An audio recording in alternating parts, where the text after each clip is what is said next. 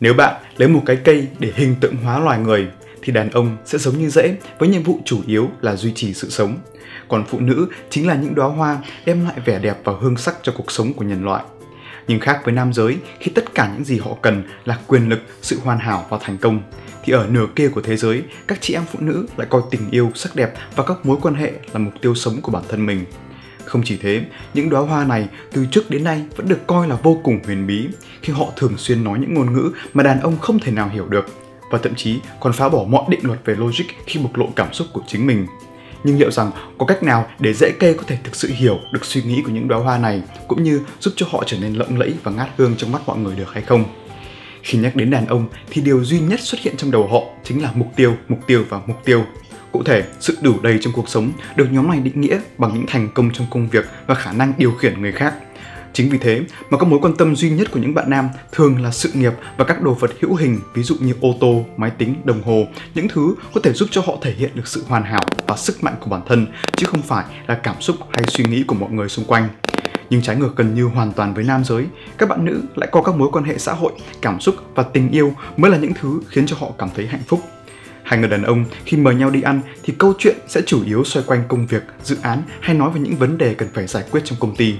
Còn khi các chị em phụ nữ tìm đến nhà hàng thì mục đích chính của họ ngoài tránh phải nấu cơm, rửa bát thì đây là cơ hội để các bạn nữ có thể nuôi dưỡng các mối quan hệ của bản thân bằng cách lắng nghe và trò chuyện cởi mở về những vấn đề xảy ra trong cuộc sống và những mẫu đối thoại này sẽ thường được ví giống như một cuộc điều trị tâm lý nhiều hơn là ăn uống hay bàn bạc. Chính vì thế mà những đóa hoa của nhân loại sẽ thường quan tâm nhiều hơn đến cảm xúc suy nghĩ của người khác cũng như đầu tư nhiều thời gian hơn vào những hoạt động liên quan đến ăn uống, vườn tược và shopping. Vì với họ, biểu hiện của thành công chính là luôn sẵn sàng giúp đỡ cũng như hỗ trợ mọi người một cách vô điều kiện nhưng nếu hai nửa của thế giới bắt đầu trò chuyện và thể hiện tình cảm với nhau thì các bạn nam lại thường hay bị cho là không biết lắng nghe và không hiểu được cảm xúc của chị em phụ nữ Cụ thể thì khi phái đẹp chia sẻ với người mình yêu về một vấn đề nào đó trong cuộc sống thì mấy ông con trai một cách rất hồn nhiên vô tư mặc định cho rằng họ nói chuyện với mình là để tìm kiếm giải pháp. Vì với cánh mày dâu, khi hỏi một ai đó về khó khăn mà bản thân đang gặp phải cũng đồng nghĩa với việc là mình đã hết cách giải quyết và cần sự tư vấn của một chuyên gia nhưng các bạn nam lại không hề biết rằng điều mà phụ nữ quan tâm nhiều khi không phải là phương hướng giải quyết, mà đơn giản là họ chỉ muốn chia sẻ cảm xúc của mình để cảm thấy gần gũi hơn với người mình yêu, cũng như giải tỏa phần nào những suy nghĩ tiêu cực. Chính vì thế mà xuyên suốt cuộc đối thoại, trong khi phái đẹp đang ra sức tìm kiếm sự thấu cảm, thì những người đàn ông lại làm gián đoạn cuộc trao đổi cảm xúc này bằng cách đưa ra một mớ những giải pháp vô hồn. Và kết quả là chị em phụ nữ bắt đầu trở nên khó chịu khi không được đối phương đáp trả tình cảm và dẫn đến hiện tượng từ chối mọi sự giúp đỡ của cánh mày dâu. Cũng từ đây thì các bạn nam bắt đầu cảm thấy bản thân thật vô dụng khi không thể giúp đỡ được người mình yêu cũng như dần dần mất đi khả năng lắng nghe cần thiết và khiến cho cuộc trò chuyện nhanh chóng trở thành một cuộc cãi vã.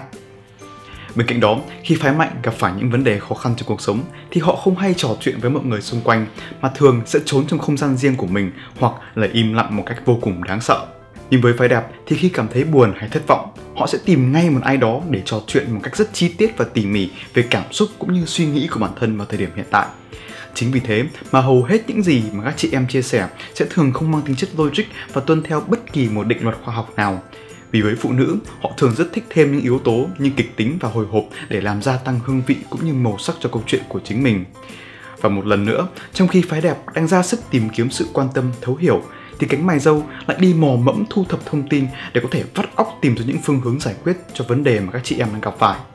Nhưng càng lắng nghe thì các bạn nam lại càng cảm thấy dối vì gần như họ không thể nào tìm được mối liên hệ logic giữa những dữ kiện mà người yêu hay vợ mình cung cấp. Chính vì thế mà dần dần dần dần sự khó chịu bắt đầu được đẩy lên cao và xung đột hay cãi vã lại một lần nữa có cơ hội được xuất hiện.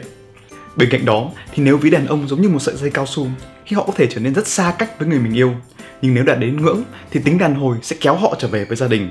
Thì phụ nữ lại giống như những cơn sóng của cảm xúc. Khi họ có thể chuyển từ trạng thái thăng hoa sang buồn bã và ngược lại chỉ trong một phần nghìn của giây. Nhưng trong tình yêu, hầu hết các bạn nam lại mặc định cho rằng sẽ có một sự bình yên nhất định nào đó khi phái đẹp đang buồn và hạnh phúc. Và sự biến đổi thất thường này là hoàn toàn do lỗi của họ. Chính vì thế mà khi phụ nữ buồn, đàn ông sẽ nghĩ ngay đó là trách nhiệm của mình. Còn khi họ vui phái mạnh cũng nghĩ đó là do mình tạo ra. Vậy nên khi những cơn sóng biến đổi một cách thất thường thì phái mạnh sẽ cảm thấy vô cùng bực bội vì mới chỉ vài phút trước họ vừa làm cho người mình yêu vô cùng hạnh phúc nhưng chỉ vài giây sau mọi cố gắng đã dường như bị đổ hết xuống sông xuống bể Và một lần nữa, cánh mày râu lại cảm thấy như mình thật vô dụng khi không tìm ra được phương hướng giải quyết cho người mình yêu. Nhưng họ lại không hề biết rằng những gì mà chị em phụ nữ cần không phải là giải pháp hay là những mớ tư duy logic vô hồn, mà những gì họ cần là một người ở bên cạnh để hỗ trợ và để yêu thương một cách vô điều kiện. Và cuối cùng, tổng kết lại, mặc dù phụ nữ nhiều khi rất khó hiểu và biến đổi thất thường với vô số những trạng thái khác nhau của cảm xúc, nhưng nếu chúng ta chỉ cần để ý kỹ một chút thì tất cả những gì họ cần không phải là tư duy, không phải là logic, mà đơn giản là các chị em chỉ muốn được yêu thương và sẻ chia tình cảm. Chính vì thế mà nếu phái mạnh học được cách lắng nghe mà không phán xét và yêu thương một cách vô điều kiện thì khi ấy họ sẽ biết là người yêu hay vợ của mình mới thực sự đẹp và lộng lẫy đến nhường nào. Hi Pete, can you say Vietnamese Happy Vietnamese Women's Day? Happy Vietnamese Women's Day to everyone over there. I hope you're all uh, inspired to, to go on and achieve great things. Yes, okay. Thank you, Pete. No worries. Thank you. can you say something for Vietnamese women? Yeah, so happy Vietnamese Woman Day and all the best. Yeah, so show your guns. Wish you luck.